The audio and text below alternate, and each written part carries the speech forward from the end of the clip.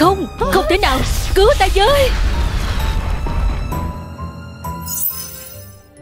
Sau cuộc chiến khốc liệt với Melinda Lucy, Adam cùng gia đình trở về sống yên bình cùng nhau.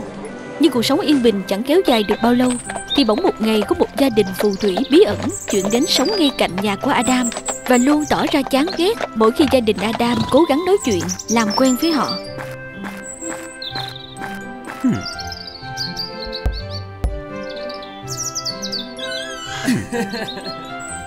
Đặc biệt gia đình này có một cậu con trai tên là Peter. Peter đặc biệt ghét Adam và gia đình của cậu. Thậm chí nhiều lần chơi xấu Tìm cách hèn bọn ngầm hại Adam. Cho đến một ngày Lucy ghé qua nhà Adam chơi. Peter nhìn thấy Lucy thì như trúng tiếng sét ái tình? Cậu tìm mọi cách để cưa cẩm tán tỉnh Lucy nhưng không thành. Hả?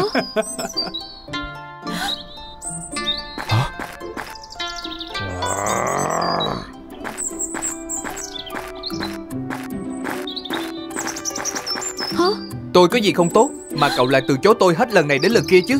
Tôi đẹp trai, nhà giàu Lại có phép thuật cao cường. Hàng dạng cô gái xếp hàng ngoài kia Chờ tôi để mắt tới kia. Kìa Vậy mà cậu lại làm cao với tôi sao? Thì sao nào? Có hàng vạn cô gái ngoài kia xếp hàng chờ cậu để mắt tới. Không có nghĩa là tôi cũng giống như họ. Tôi và Adam đã có hôn ước từ trước rồi Và trong lòng tôi cũng chỉ có Adam thôi. Mong cậu giữ tự trọng giùm đi. Adam Lại là cái tên Adam chết tiệt đó. Thật là bực mình quá đi mất. Hắn ta thì có gì hơn mình cơ chứ? Phải tìm hắn phân thắng thua một trận Cho ra lẽ mới được.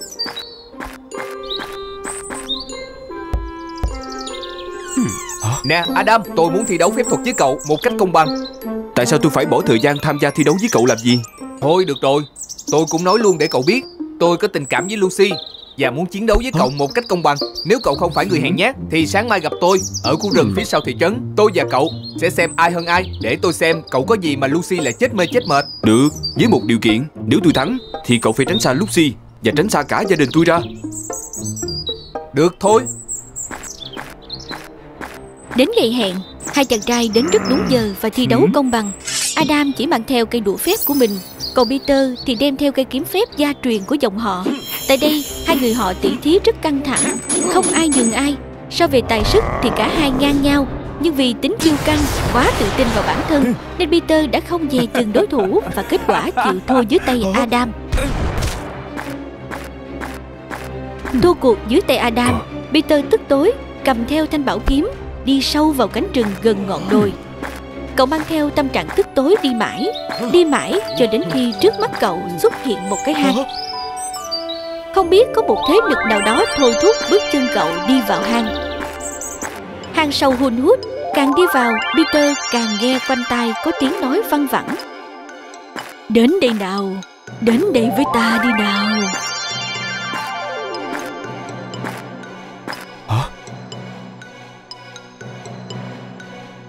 Chào con trai Con là cháu của ông Daniel có đúng không? Bà là ai? Tại sao lại biết tôi Và cả ông cố của tôi nữa Ta đã ở đây chờ con lâu lắm rồi. Chẳng phải trên tay của con chính là thanh kiếm của Daniel hay sao? Ta là Melinda. Xưa kia từng là bạn học của ông cố của con Và ông cố của Adam. Chúng ta cũng từng là những người bạn rất thân Cho đến khi ông cố của Adam Nổi lòng tham, tạo phản Khiến cho ông cố Daniel của con tức giận Mang theo thanh kiếm này bỏ đi.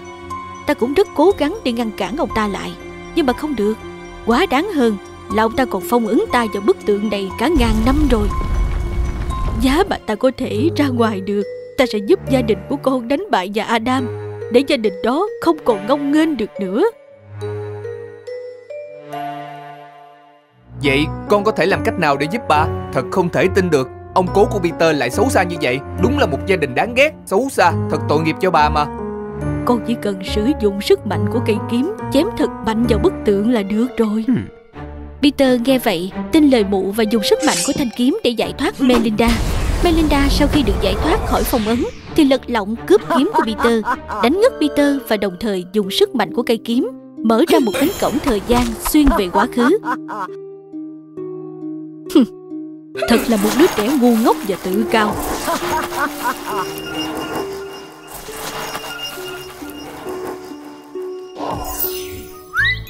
Lại nói về Adam Sau khi chiến thắng Peter Thì Adam trở về nhà trong sự vui mừng. Nhưng sự vui mừng không kéo dài được bao lâu Vì Ừ. ngay tối hôm đó Viên ngọc trên cổ Adam cứ sáng lóe và rung lên. Hả? Adam Em nghĩ rằng có điều chẳng lành gì đó Vì viên ngọc trên cổ của em cứ rung lên liên hồi. Viên ngọc của anh cũng thế Chúng ta cùng vào nhà xem thế nào đã Đừng đứng mãi ở cửa như vậy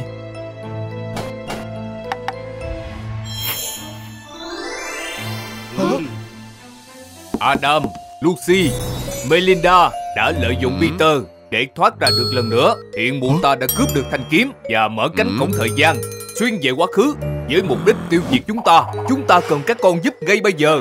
Chúng con luôn sẵn lòng ạ Chúng con có thể giúp người bằng cách nào Hai con hãy kết hợp sức mạnh của hai viên ngọc Để mở cánh cổng thời gian Và đến giúp chúng ta một tay Chúng ta đợi hai con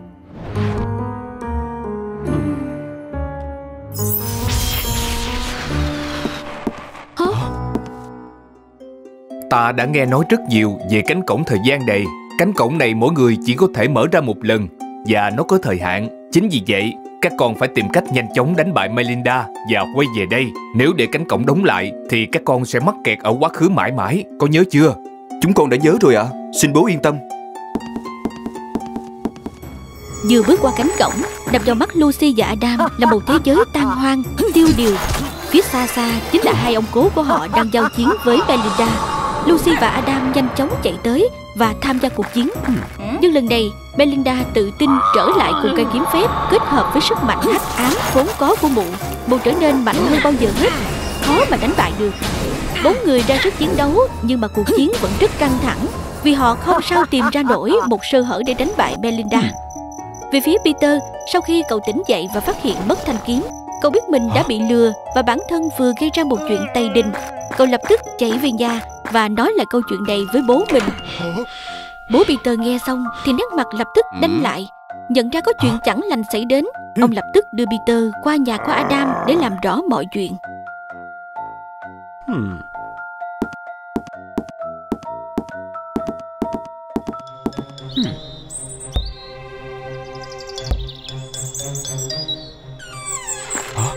Bố Peter, có chuyện gì vậy? Sao anh và cháu mặt lại quảng hốt thế kia?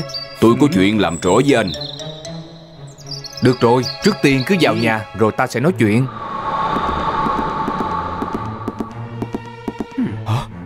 Có chuyện gì quan trọng đến mức Phải mở cánh cổng thời gian sao Chắc là anh cũng biết chuyện rồi. Melinda đã trở lại và lừa lấy mất cây kiếm phép từ phía Peter. Mụ dùng sức mạnh đó để mở cánh cổng thời gian để quay về nhằm tiêu diệt tận gốc Ừ. ông cố của Lucy và Adam. Vậy nên Lucy và Adam đã mở cánh cổng này ra để xuyên về quá khứ giúp ông cố đó. Melinda Melinda chẳng phải người tốt sao Rốt cuộc trong quá khứ đã xảy ra chuyện gì Anh có thể nói rõ cho tôi biết không Khi xưa, bốn người họ từng là bạn học. Sư phụ của họ đáng lẽ định truyền lại thanh kiếm cho ông cố của Peter. Nhưng sau đó, vì một lý do khác lại Ừ. chọn ông cố của Adam. Ông cố của Peter vì thế rất tức giận, lại thêm bị Melinda nói khích. Hả? Nên đã cầm thanh kiếm phép bỏ đi biệt xứ. Melinda lúc đó đã làm phản, tu luyện phép cấm, hại chết sư phụ và còn định tiêu diệt hai người bạn học của mình nữa. Mụ ta thật sự rất độc ác. Ôi ấy vậy mà từ trước đến nay Chúng tôi vẫn luôn hiểu lầm gia đình của anh Chúng tôi thật có lỗi quá À, không sao đâu, hiểu lầm cả thôi mà. Bố, chú, sự việc xảy ra đến bây giờ, tất cả là do sự hiếu thắng và ngu dốt của con. Hãy để cho con tới quá khứ, trợ giúp cho Lucy và Adam. Được Ta mừng là con đã lớn và biết sống có trách nhiệm rồi Tuy nhiên hiện tại con không có kiếm phép trên tay Nên phải hết sức cẩn thận đó Con sẽ bảo vệ bản thân thật tốt. Bố cứ yên tâm. Peter sau khi đi qua cánh cổng thời gian thì cậu lập tức chứng kiến hình ảnh bốn người đang đấu phép với Melinda. Tấm bàn phép thuật bốn người tạo ra sắp nứt và Melinda sắp đạt được mục đích của mụ đấy là tiêu diệt họ. Peter không tiếc thân mình, lập tức lao ra chắn cho bốn người còn lại. Peter trúng sức mạnh hắc ám của Melinda và ngã gục xuống. Adam vội vàng đỡ lấy cậu. Trời ơi Sao cậu lại ngốc vậy chứ Tất cả đều do tôi mới ra cớ sự này. Tôi phải là người chuộc lỗi chứ. Cậu và Lucy hứa với tôi, hai người phải sống thật hạnh phúc đó. Xem mấy đứa ngốc bảo vệ nhau kìa. Được rồi, ta sẽ thành toàn cho các người chôn chung một hố nha.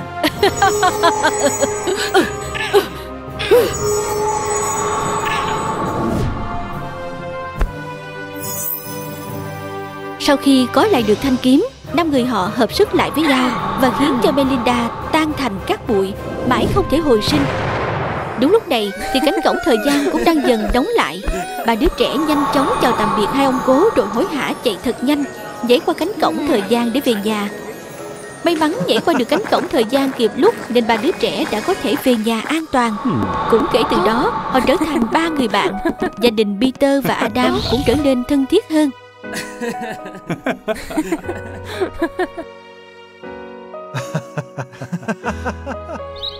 Một thời gian sau đó, Lucy và Adam quyết định tổ chức một đám cưới nhỏ, đi đến hồi kết cho câu chuyện tình yêu đẹp đẽ của họ. Trong đám cưới, Peter vô tình va phải cô bạn của Lucy. Hai người họ trao cho nhau ánh mắt chìm đắm, dấu hiệu cho một chuyện tình sắp bắt đầu. Hả?